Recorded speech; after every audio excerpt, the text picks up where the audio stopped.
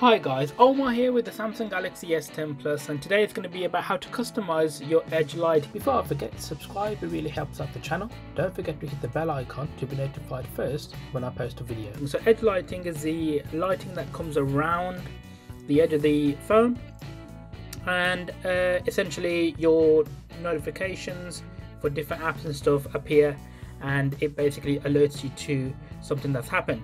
So the way you do it is you go into the settings menu you go into display and then you go down into edge lighting. Sorry edge screen even. And then you go into edge lighting. So obviously you need to make sure that this um, toggle is on. Once it is on you go into it and you can then further refine it. So on the top here you can uh, have it on while the screen is on while the screen is off or always. So that's what I've done. And then edge lighting style is essentially how do you want the effect. You can go through effect and have different sort of bubbles pop up and have different waves and all that kind of stuff. Multicolored you can have a glow. Uh, I've just left it to a bubble which is good for me. Color obviously you can um, customize the color depending on what you want. You've got these standard ones here and then you can go into the last one and further re refine it off the uh, off the palette.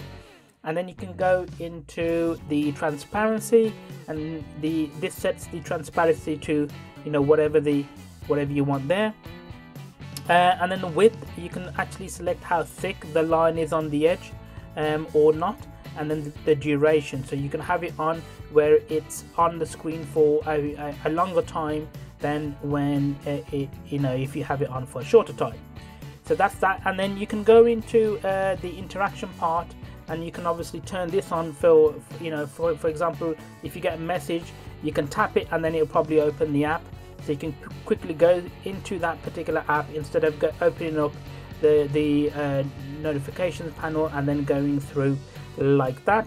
And then on the bottom here you can manage the notifications. So here you can uh, like me turn it on so it basically uh, is used by all the apps or you can just be a bit picky and select specific apps that use that uh, instead of everybody so that was just a quick look at how you can customize edge lighting on the Samsung Galaxy S10 Plus. Thank you so much for watching and I'll talk to you guys in the next one.